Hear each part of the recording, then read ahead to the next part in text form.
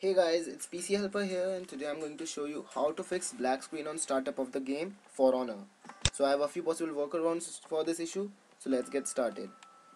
First of all, update your GPU driver. This is the most probable solution for this issue because most of the high-end games, latest high-end games require the most updated drivers, latest drivers of your GPU. So just install the latest drivers and latest updates updates of, of Windows if you are using AMD graphic card just go to AMD's website and download the auto detect tool and it helps you to download the latest drivers. And same for Nvidia download Nvidia's auto detect tool and download the latest drivers of Nvidia graphic card from there. And if this doesn't work for you try the second just go to your games shortcut and right click on it and go to its properties and in front of run click normal window and apply this settings and continue. Okay. You have to do the same with for honor.exe files shortcut on your desktop. And after this make sure your resolution of game matches the resolution of your screen. That is resolution should not be more than the resolution of your screen.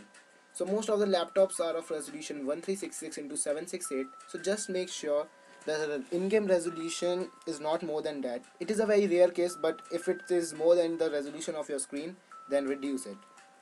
And the last thing that you can do to fix this issue is uninstall Windows Media Codec packs or any previous classic Windows Media Player installation. Just go to your control panel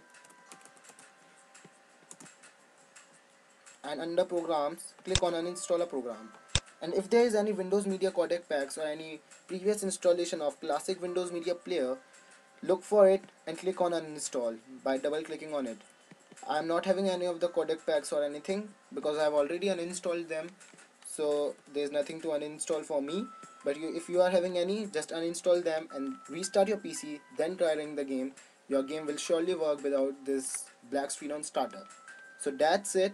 If this works for you please hit the like button below for any further queries, type in the comment section and also do watch my other videos related to other games fixes and other PC problems.